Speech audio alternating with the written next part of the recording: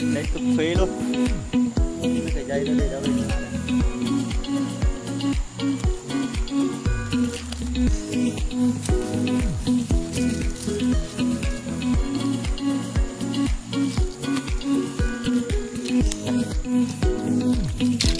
đưa lên đây cho an toàn nha anh em nhé. Đấy, đưa con cá lên đây à, đặt cho nó an toàn.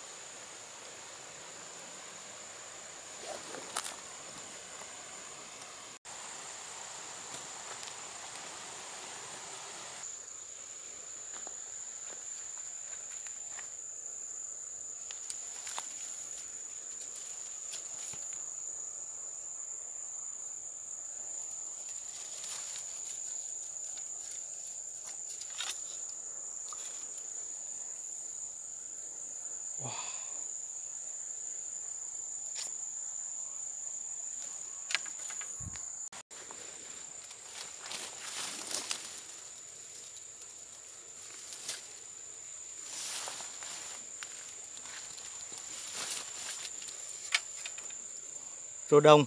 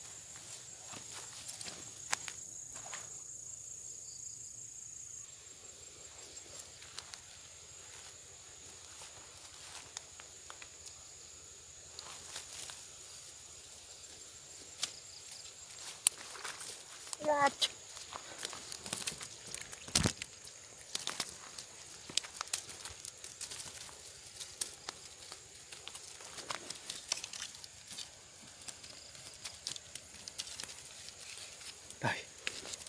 Cách chuối thứ hai.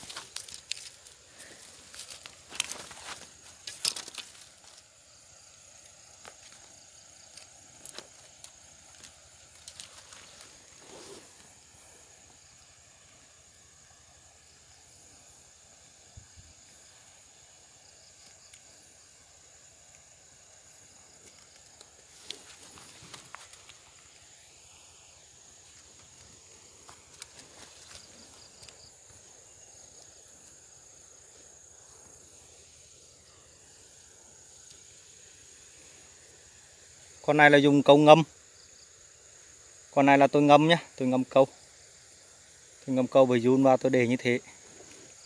Không ngồi ở đây. Đấy béo chưa?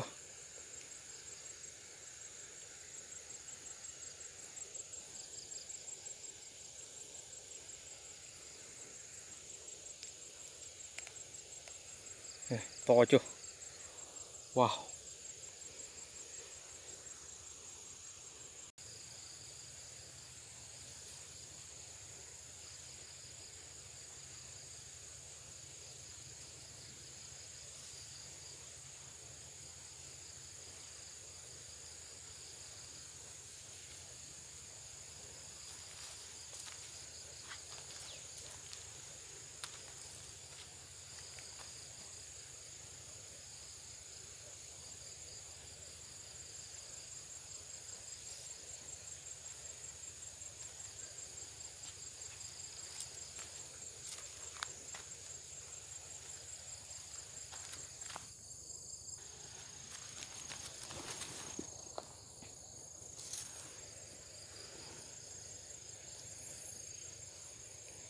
Coi nào con này này con con to to này tôi câu được trước này.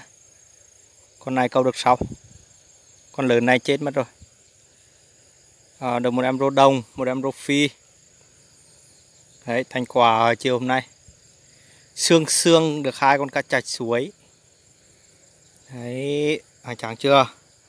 Cá chạch này ờ, anh em nhìn bé bé thế này thôi nhưng mà nó chặt ra được nhiều lắm đấy vì nó dài mà. Đấy một con thì to còn một con thì ờ, cũng to nhưng mà lại ngắn. Con đầu tiên này dài hơn này. Đấy con đầu tiên này dài hơn. Dài hơn hẳn khoảng 5 cm luôn. Buổi chiều sương sương thế này là cũng ok rồi. Còn anh em mà đi câu cả trò chuối này thì uh, đầu tiên là mình phải có chi. Câu phải có chi này câu thì tôi uh, hiện tại tôi có mùi run có mùi run đơn giản thôi run càng to càng tốt. Lưới thì uh, tôi dùng lưới 11 hoặc 12 anh em dùng lưới 11 hoặc 12 thôi đấy cái miệng con cá chả chuối này nó bé lắm. Lưới to là nó không ăn được đâu ăn nhưng mà không dính. Đây là những con cá chạch này là thuộc diện to này. Đây là những con gọi là đã trưởng thành nhé còn bình thường mà những con bé bé bằng ngón tay thì ờ, mình phải câu thậm chí là lưới số 11 số 10 cơ thì mới dính được. Còn à, câu tôi thì đang ở đây này. Câu thì ở đây. Ba chiếc. Một hai ba. Bị uh, vướng ra rồi. Hai cái phía trên này bị vướng ra rồi. Chứ còn cái cuối cùng kia là đang ngâm một lúc xem à, bây giờ trời thấp tối rồi, chập choạng này thì à, cá nó có ăn không? Hy vọng là được thêm một con nữa. Còn hai cái trên này thì bây giờ phải kiếm cây à, cây dĩa để mình gỡ nó ra. Chứ câu bị mắc hết rồi.